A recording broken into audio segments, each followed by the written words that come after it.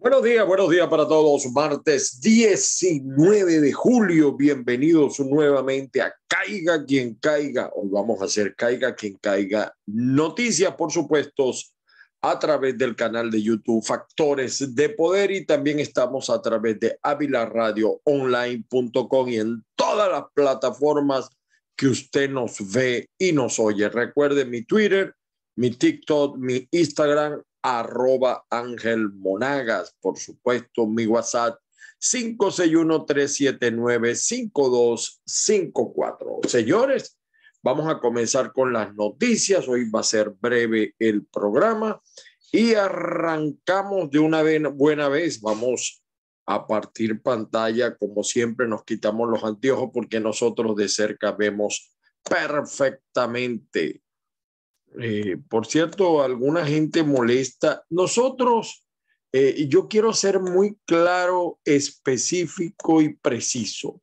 Nosotros no censuramos aquí a nadie. Si hay un canal, una vía, un medio que practique la libertad, somos nosotros. Publicamos a chavistas, a opositores, antiopositores, antichavistas, a todo el mundo. Eso sí, tenemos unas normas de respeto mínimo en cuanto al orden público. Nosotros publicamos y comentamos y usted está en su derecho. El hecho de que se publique una noticia no quiere decir que nosotros la respaldamos, porque nosotros simplemente somos medio de comunicación. Por si acaso yo no he visto eh, me despido a la llanera. Despedirme no quisiera, pero no encuentro manera, por si acaso. Bueno, vamos a comenzar con las noticias. Eh, como siempre, comenzamos con las noticias de los portales. Hoy hay poquitas noticias impresas. El diario El Nacional, en su versión PDF, señala la pérdida de electrodomésticos, la otra cara de las fallas eléctricas. Eso es cierto en Venezuela. Eh, lamentablemente nadie te responde. Y hay que ver lo que cuesta en Venezuela ponerse en un televisor, en una nevera, en un aire acondicionado. Denuncian que más de 70 venezolanos están desaparecidos de la selva del Darién.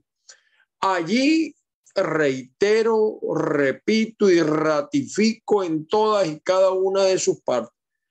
El primer culpable es el chavismo por su mal gobierno el madurismo, por la destrucción del país. Pero el segundo responsable son quienes han dirigido la oposición, quienes han hecho el papel de opositores y no, yo no sé si se vendieron, se los compraron, yo no sé, pero no han estado a la altura de las circunstancias, porque que en 23 años no hayamos podido salir de estas hordas de Atila que por donde pasan no crece ni la hierba. Lo dijo así. Así que Guaidó, eso es muy fácil, culpar a otro y tú tienes tres años y ¿qué has hecho? ¿Qué has hecho por sacar el chavismo? ¿Qué has hecho por ayudar a esos venezolanos que siguen muriendo en el Darién y no les entra razonamiento algunos? El chavismo también fue derrotado en la Facultad de Humanidad y Educación en las elecciones eh, que hubo recientemente en la UCB. Eh, fue derrotado el chavismo. Por cierto, que dentro de la oposición, los que decían ser líderes de la universidad vinculados a un partido político quedaron terceros. Ahora ya no les dicen primeros, sino terceros.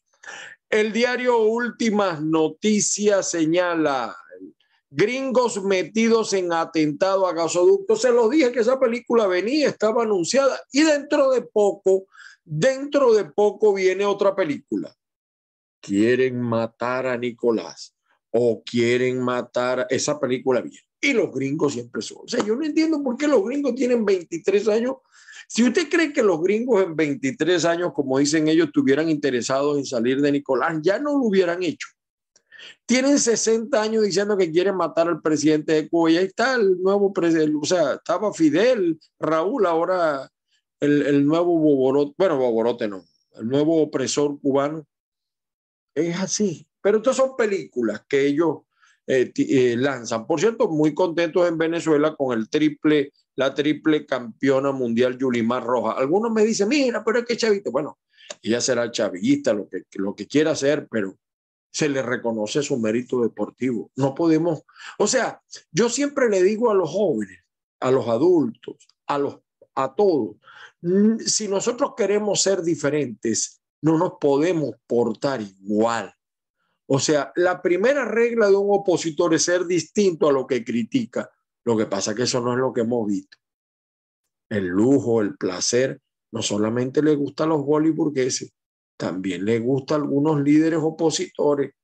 La intolerancia, mucha gente que dice que los chavistas, pero están tan intolerantes como los chavistas. Yo sé la rabia, yo sé el, lo que te ahoga de desesperación, pero eso no puede estar por encima del valor de la tolerancia. Jesucristo practicó la tolerancia, por cierto, sin renunciar a sus valores y principios, además hijo de Dios.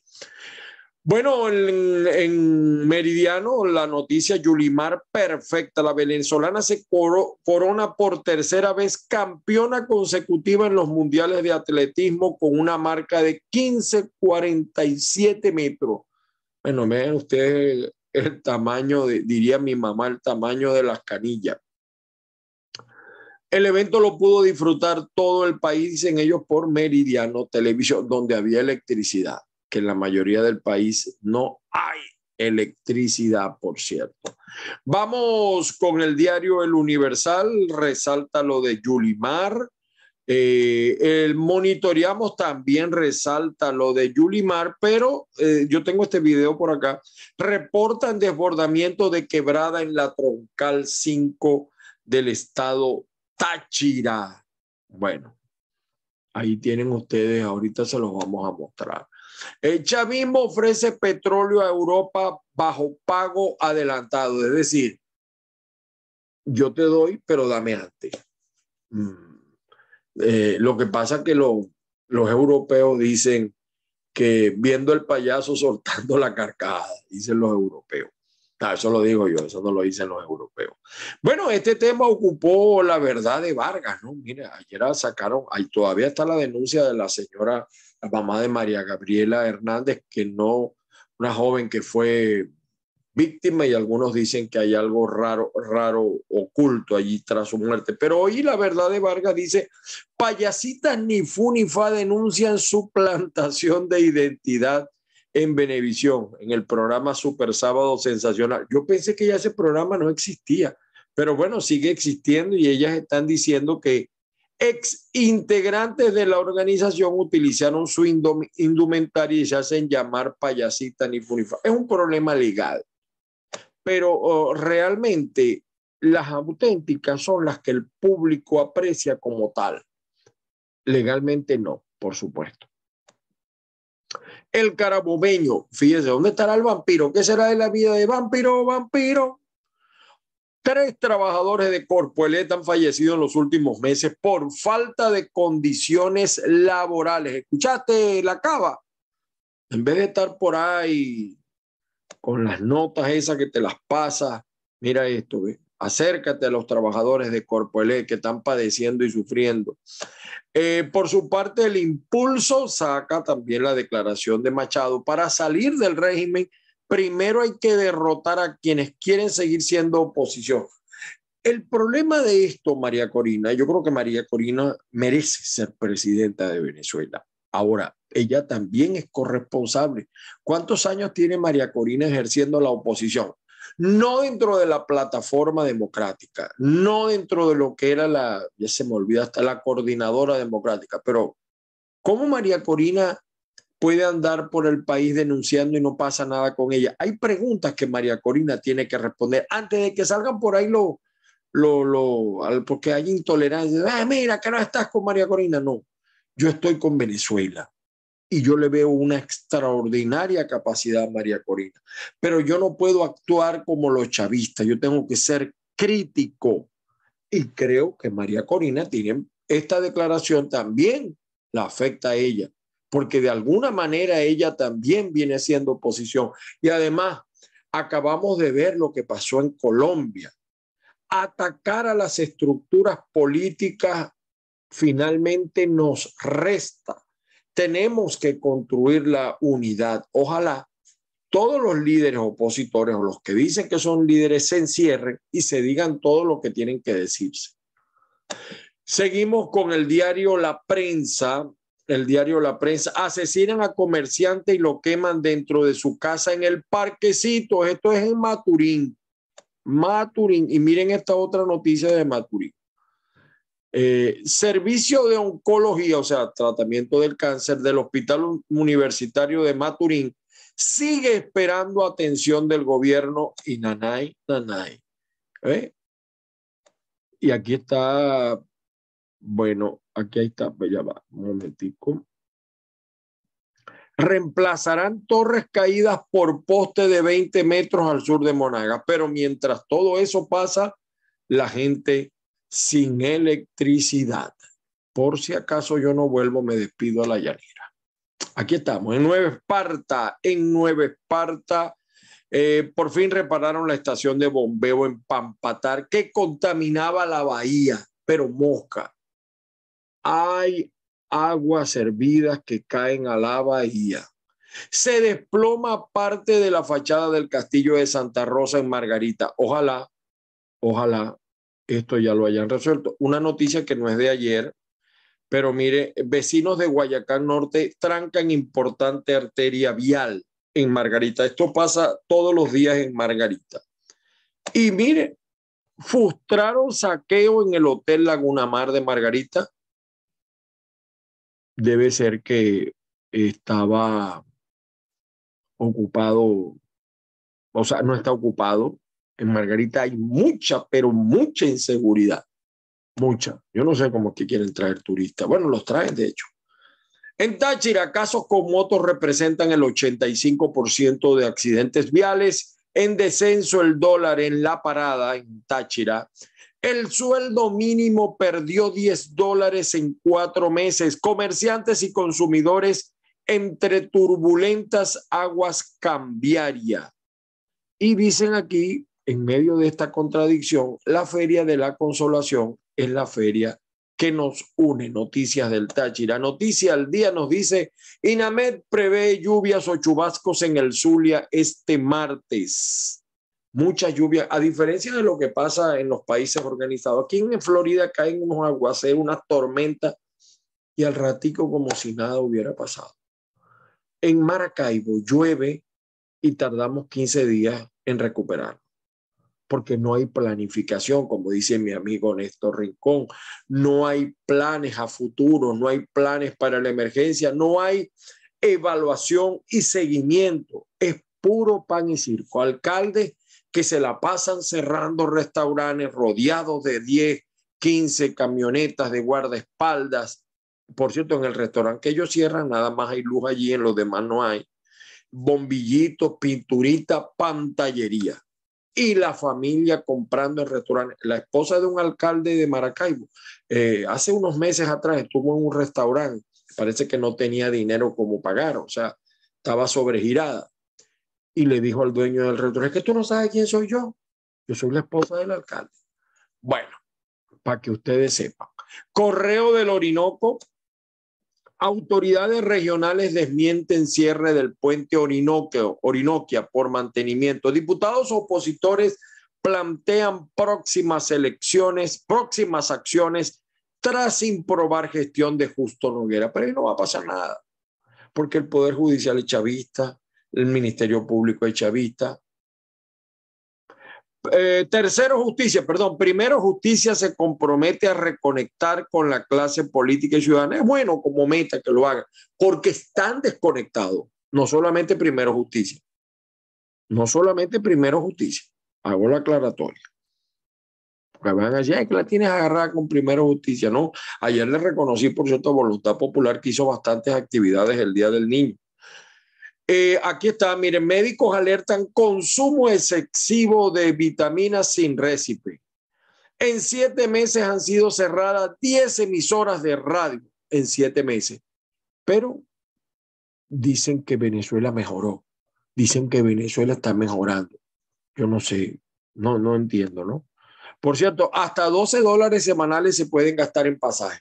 12 dólares semanales para de repente en Estados Unidos no es nada, el que esté ganando en dólares no es nada, pero el que no gana en dólares, ¿qué podrá pensar de eso? El Pitazo dice, aquí está, la selva del Darién, ¿qué espera a los venezolanos antes de llegar a Estados Unidos? Ven, interesante. Embajador estadounidense se reúne con Gustavo Petro para trabajar en objetivos compartidos. Dirigentes sindicales, el Estado mantiene a los trabajadores del país pasando hambre hereje. Eh, PDVSA y Corpoelé sustituirán con postes torres caídas en Monagas bueno, ya lo dije, la UCAT abre inscripciones del programa integral para la vida universitaria. Observatorio Venezolano de Prisiones alerta sobre desnutrición grave en las cárceles. No, no hay nutrición en las cárceles. Todo lo manejan los pranes. En esta Venezuela que mejoró, las cárceles siguen al mando de pranes. Y si tú no tienes dólares o tú no te pones de acuerdo para pagar, no vas a comer, no vas a vivir. Vamos con un poquito de noticias. Ah, bueno, ya les leí las noticias de...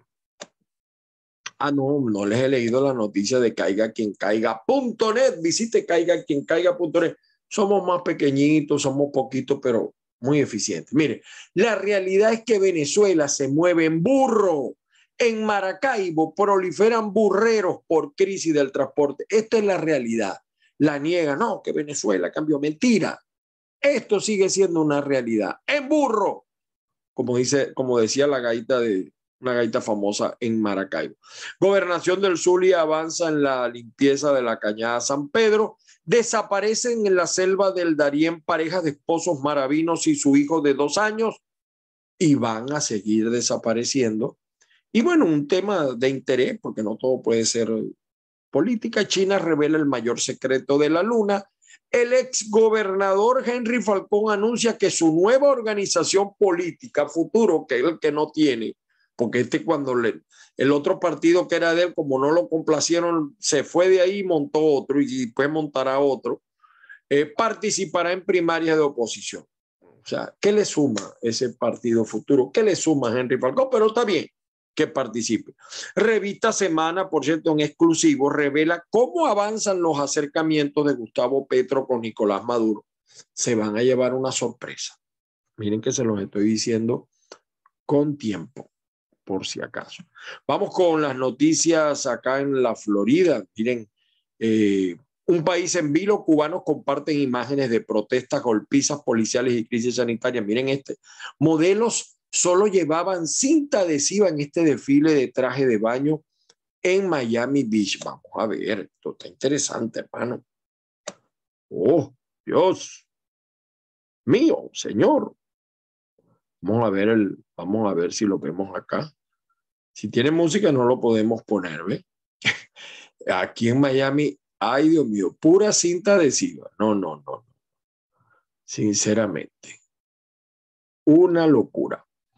Eh, aquí estamos con el tiroteo en Indianápolis. Deja cuatro muertos. El tirador fue abatido por un buen samaritano. Fíjense, hay una crisis con el arma, la manera en que aquí la gente anda armada.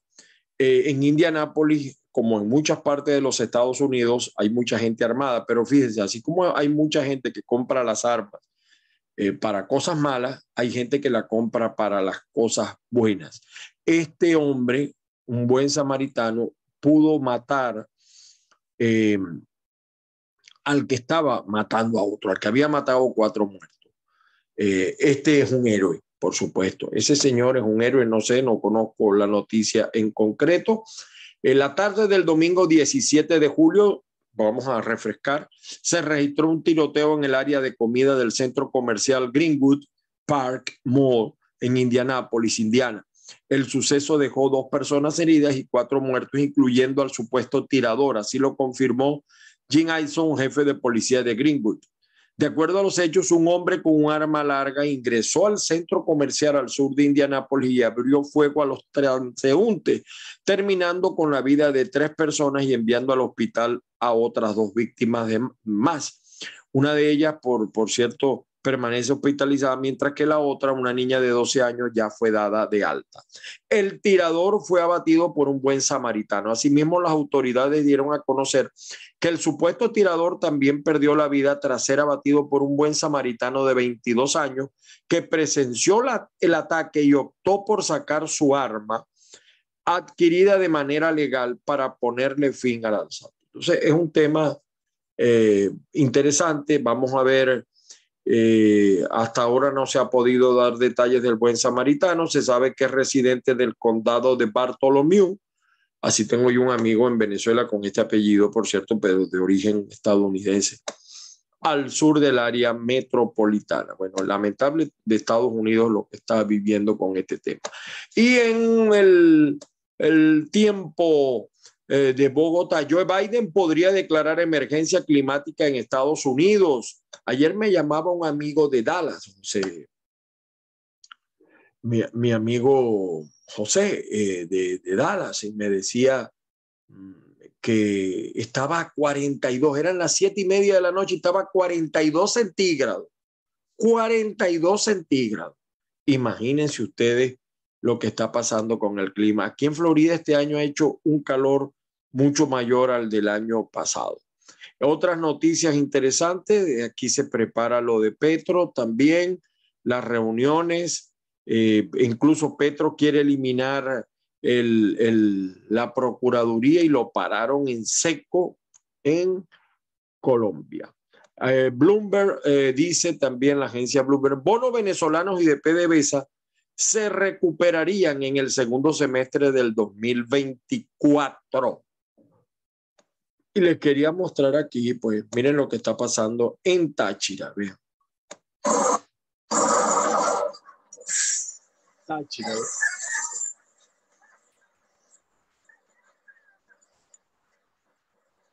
Todas estas ciudades que sufren esto necesitan una buena planificación, revisar la estructura. En eso deberían estar los gobiernos. Bueno, miren, ustedes quieren saber cómo meten los celulares a las cárceles. Observen esto. É a descobrir a seguinte situação. Miren, ya van a ver. ¿ve? Esto pasa en Venezuela y en muchas partes del mundo. Vean. Engenharia para ocultar celular. ¿Eh? Ahí están los celulares. Así los meten y después no se dan cuenta. Y aquí habló uno, el COPEI, el jefe de uno de los COPEI, este es un COPEI, eh, vamos a decir, prochavista. Y él dice que el camino es el entendimiento según su punto de vista. Bueno, y ha pasado el tiempo y aunque él lo niega, lo reniega, ¿por qué la gente, voy a escribir sobre eso, hasta, a lo mejor escribo esta semana, ¿por qué la gente sigue viendo a Lorenzo Mendoza como la opción en Venezuela? Escuchemos. Vamos a ver. ¿Cómo seguimos, a pesar de las dificultades, generando oportunidades y llevando esperanza para muchos venezolanos? Si este hombre se lanza, o sea, en todas las encuestas, sale uno dos y sale dos por la oposición dividida. Pero si este hombre se lanza, eh, definitivamente, pues este hombre eh, daría mucho que hablar. Eso sí, que no cometiera el error que cometió el señor Rodolfo Hernández en Colombia. Señores, es todo por hoy. Hoy les dije que iba a ser breve el programa. Recuerden buscarme en Twitter, Instagram y TikTok como arroba Ángel Monaga. Mi WhatsApp 561-379-5254 más uno si me quieres incluir en el WhatsApp, si me quieres seguir en el WhatsApp. Tenemos un portal, caiga quien caiga.net, también crítica24.net. Son portales donde no practicamos la censura. Señores, las bendiciones del Padre Celestial sobre todos y cada uno hoy martes 19. Que la fuerza, mucha fuerza, los acompañe. Por cierto, la señora que dice que yo la deprimo, yo lo que no digo es mentira. Ahora, dice el Evangelio, solo la verdad os hará libre. Feliz día para todos.